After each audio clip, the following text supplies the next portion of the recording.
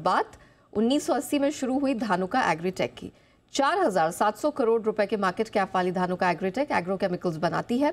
Company के पास herbicides insecticides fungicides plant growth regulator biostimulants सहित 321 से ज़्यादा रजिस्ट्रेशन हैं। आज कंपनी के मैनेजमेंट से हम जो मौजूदा डिमांड ट्रेंड है उसको समझेंगे। केपेक्स प्लान कैसा है? प्राइसिंग आउटलुक कैसा है? विस्तार योजनाओं पर हम फोकस करेंगे ग्रोथ आउटलुक भी जानेंगे। ज़्यादा बातचीत के लिए आइए जोड़ते हैं कंपनी के वीसी और MD M K Dhanuka sir को। Mister Dhanuka sir, good afternoon, बहुत स्वागत है आपका जी बिज़नेस पे। सर, सबसे पहले तो आपसे यही समझना चाहेंगे ये जो वित्त वर्ष अब जा रहा है फाइव ट्वेंटी फोर काफ़ी चुनौतीपूर्ण साल रहा है, न सिर्फ़ मतलब पूरी इंडस्ट्री के लिए काफ़ी चुनौतीपूर्ण रहा है। डिमांड वाइज देखें प्राइसिंग पॉइंट से देखें। अब सर, ये ज़रा बताइए कि एफ़ आई ट्वेंटी फाइव नया वित्त वर्ष इंडस्ट्री के लिए कैसा दिख रहा है और ये जो स्थिति है, ये आपको सामान्य होती हुई कब तक दिख रही है? देखिए, जो पिछला वर्ष गया है, ये एलिनो ईयर था। एलिनो ईयर के लिए अंदर जो है, बारिश बड़ी इरेटिक रहती है, जिसका खेती के ऊपर में डायरेक्ट इम्पैक्ट आता है। लेकिन जो फोरकास्ट नेक्स्ट ईयर के लिए आई है, वो ला नीनो के लिए ला नीना की आई है। तो ला नीना में नॉर्मल रेनफॉल या कुछ एक्सेस रेनफॉल होती है। और जब रेनफॉल ज़्यादा होती है तो डेफिनेटली खेती भी ज़्यादा होती है और जो पेस्टिसाइड्स की डिमांड है, वो भी ज़्यादा होती है। तो मैं समझता हूँ कि जो आने वाला साल है, वो एग्री इनपुट कंपनीज़ के लिए काफ़ी अच्छा रहेगा और डिमांड वगैरह काफ़ी अच्छी रहेगी। ओके। okay. चलिए तो यहाँ पर मांग की स्थिति कुछ बेहतर होती हुई दिखाई दे रही है। अच्छा सर, ये ज़रा बताइए कि ग्लोबली एग्री कैम प्राइजेस में किस तरह का सेंस आप, आपको मिल रहा है और अभी मौजूदा प्राइसिंग ट्रेंड कैसी है? वाई वाई या क्वार्टर ऑन क्वार्टर आधार पर देखें तो किस प्रकार का ट्रेंड आपने कैच किया है? अभी तक डिमांड कम थी और सप्लाई ज़्यादा थी और स्पेशली ग्लोबल डिमांड जो अमेरिका और ब्राज़ील जो कि हाईएस्ट कंज्यूमिंग कंट्रीज़ हैं, वहाँ की डिमांड काफ़ी कम थी। उसके कारण से प्राइसेस जो है नीचे जा रहे थे। किंतु अब पिछले एक महीने से प्राइसेस या तो स्टेबल है, या कुछ मॉलिक्यूल्स के अंदर में अपवार्ड ट्रेंड भी काफ़ी देखने को मिला है। जैसे कि क्लोरोपाइनिफॉस में 10 परसेंट प्राइस इंक्रीज हो गए हैं मैंकोजेब में 20 परसेंट प्राइस इंक्रीज हो गए हैं तो अब जो है प्राइस जो है वो ट्रेंड चेंज हो रहा है। तो अब ट्रेंड में यहाँ पर कुछ बदलाव ज़रूर देखने को मिल रहा है। अच्छा सर थोड़ा नंबर्स पे फोकस करते हैं। तीसरी तिमाही में हमने देखा आपका जो ग्रॉस मार्जिन है, उसमें अच्छा खासा सुधार देखने को मिला है। किस कारण से, सर, ये इम्प्रूवमेंट आया है? मेजर दो रीजन थे। इसके पीछे एक तो प्रोडक्ट मिक्स था, जो हाई मार्जिन प्रोडक्ट्स थे, उनकी सेल ज़्यादा हुई। उसके कारण से ग्रोस मार्जिन बढ़ गए। और दूसरा, जो प्राइसेस रॉ मटेरियल के रिड्यूस हुए, उतना प्राइस जो है वो ब्रांड सेल्स के अंदर में मार्केट के अंदर में पास ऑन नहीं हो पाया हुआ। उतने प्राइसेस जो है फाइनल प्रोडक्ट्स के कम नहीं हुए। उसके कारण से ग्रोस मार्जिन इंप्रूवमेंट आई है। सर प्राइमरीली रॉ मटेरियल्स का कितना इम्पैक्ट पड़ता है सर जिस तरह की प्राइस मूवमेंट कमोडिटी मार्केट में दिखती है और कब कितने डिले से या कब से रिफ्लेक्ट होता है? आ, ये मार्केट में डिमांड एंड सप्लाई के ऊपर में डिपेंड करता है। कभी तो इमीडिएट इम्पैक्ट आ जाता है जब पीक सीज़न का टाइम होता है। जब थोड़ा ऑफ़ सीज़न का टाइम आता है होता है तो उस समय प्राइसेस का इम्पैक्ट आने में एक से दो महीने का समय लग जाता है। राइट अच्छा सर आपकी जो तीसरी तिमाही वाली प्रेजेंटेशन थी उसमें आपने मेंशन किया था that there is a significant gap in volume growth and value growth तो क्या ट्रेंड है सर करंटली और ये Q4 के लिए वॉल्यूम और प्राइस ग्रोथ को लेकर क्या सेंस बन रही है?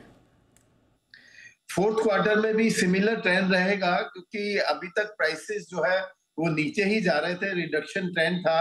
तो उसके कारण से मैं समझता हूँ कि जो थर्ड क्वार्टर में आ, हमारी परफॉर्मेंस रही है उसी हिसाब से करीब आ, जो वैल्यू वाइज ग्रोथ है वो सिंगल डिजिट रहेगी और वॉल्यूम वाइज ग्रोथ जो है नियर डबल डिजिट जो है वो हायर सिंगल डिजिट और near to double digit growth हो पाएगी ओके okay. अच्छा sir if I am not wrong आपने कंपनी ने अभी कुछ समय पहले एक लेटर ऑफ़ इंटेंट साइन किया है स्पेन की कंपनी के साथ। कुछ बिज़नेस अपॉर्चुनिटीज़ शायद आप एक्सप्लोर कर रहे हैं। सर बता सकते हैं इसके बारे में डिटेल्स और कैस, कैसे मौके दिखाई दे रहे हैं?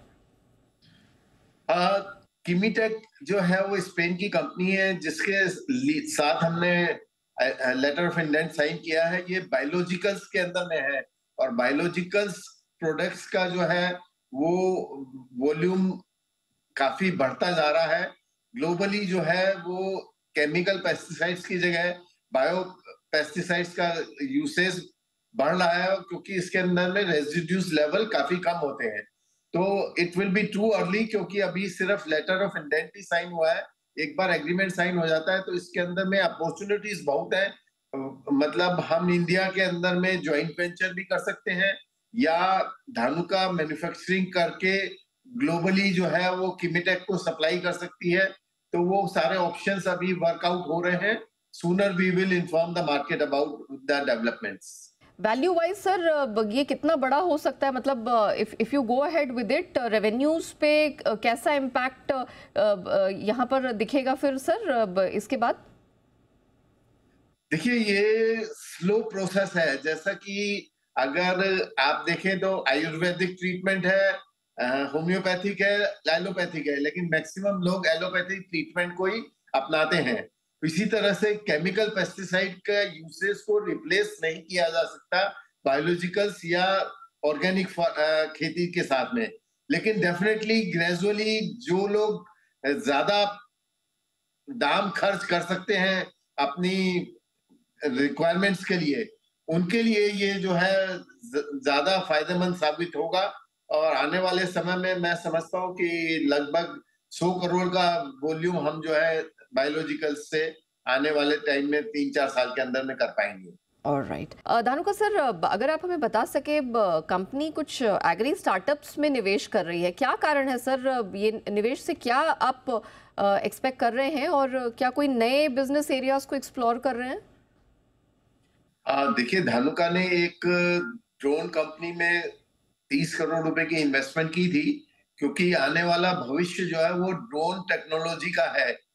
जो स्प्रे टेक्नोलॉजी है वो ड्रोन के माध्यम से होगी चाइना के अंदर में मैक्सिमम स्प्रे ड्रोन के माध्यम से ही होता है, क्योंकि ड्रोन से स्प्रे करने के काफ़ी ज़्यादा एडवांटेजेस हैं।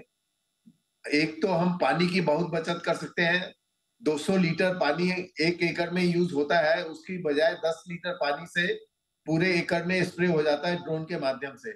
तो इस तरह से पानी की बचत, बहुत बचत होती है, इवनली स्प्रे होता है और लेबर कॉस्ट कम होती है और इसके अतिरिक्त जो ह्यूमन हेल्थ है, लेबर की हेल्थ है, वो जो है काफ़ी ज़्यादा इम्पैक्ट होती है क्योंकि वो एक्सपोज होता है जब वो स्प्रे करता है। पेस्टिसाइड लेकिन ड्रोन के माध्यम से स्प्रे होने से हम्म। वो एक्सपोजर खत्म हो जाता है। तो इस तरह से ड्रोन में भविष्य है उसको देखते हुए हमने इन्वेस्टमेंट की है। कंपनी में एक्स्ट्रा फंड्स अवेलेबल हैं। तो उसके लिए कंपनी कुछ कुछ स्टार्टअप्स के अंदर में इन्वेस्टमेंट कर रही है। और एक जी सर प्लीज़ कंटिन्यू इसके अतिरिक्त हमने एक दूसरी कंपनी के अंदर में भी अभी किसान कनेक्ट के नाम से एक कंपनी है जिसमें दस करोड़ रुपए का इन्वेस्टमेंट किया है, जो कि फार्म टू फॉक मतलब वो डायरेक्ट किसानों से सब्ज़ियाँ और फल लेके डायरेक्ट कंज्यूमर तक पहुंचाते हैं। तो ये भी भविष्य के अंदर में मैं समझता हूँ कि काफ़ी ज़्यादा इंक्रीज होने वाला सेगमेंट है तो इसलिए इसके अंदर में भी हमने दस करोड़ रुपए की इन्वेस्टमेंट की है।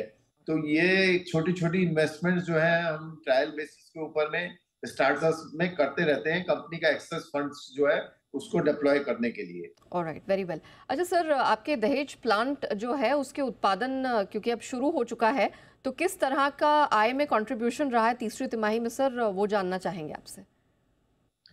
देखिए, जैसा भी आपने बात की तो दहेज को हमें एज ए स्टार्टअप ही लेना पड़ेगा, क्योंकि पिछले वर्ष प्राइस ट्रेंड रिडक्शन का था, इसके कारण से डिमांड काफ़ी कम थी। तो इसलिए हमने जो प्रोडक्शन था, वो कुछ समय के लिए स्थगित भी कर दिया था बीच में, क्योंकि इन्वेंट्री कंपनी के पास में इकट्ठी हो गई थी। लेकिन मैं समझता हूँ कि जैसे जैसे हमारे एक्सपोर्ट रजिस्ट्रेशन आएँगे तो एक्सपोर्ट की अपॉर्चुनिटी काफ़ी बढ़ जाएगी, क्योंकि इंडिया से एक्सपोर्ट काफ़ी ज़्यादा हो रहा है, जो बाइफेंथ्रीन टेक्निकल हम बना रहे हैं, लगभग पाँच हज़ार मीट्रिक टन का इंडिया से एक्सपोर्ट होता है। और अभी क्योंकि हमारा रजिस्ट्रेशन नहीं है, इसलिए हम एक्सपोर्ट नहीं कर पा रहे हैं। जैसे हमारे एक्सपोर्ट रजिस्ट्रेशन आएँगे तो हम एक्सपोर्ट के अंदर में काफ़ी तेज़ी से आगे बढ़ेंगे। अभी सिर्फ़ हम डोमेस्टिक मार्केट में सप्लाई कर पा रहे हैं और डिमांड क्योंकि कम थी, लेकिन अब सीज़न स्टार्ट होने जा रहा है तो मैं समझता हूँ कि आने वाले वर्ष के अंदर में हम इसके अंदर में काफ़ी अच्छा इजाफा अपनी सेल के अंदर में कर पाएँगे। Very well Dhanuka sir thank you so much आज समय निकालकर हमारे साथ जुड़ने के लिए और कंपनी के आगे के विस्तार प्लान और किस प्रकार का ग्रोथ आउटलुक है, उस पर रोशनी डालने के लिए आपका बहुत बहुत धन्यवाद। इसी के साथ शो को हम यही रैपअप करते हैं, लेकिन बने रहिएगा जी बिज़नेस के साथ। ब्रेक के उस पर भी खबरों का सिलसिला जारी रहेगा। Thank you.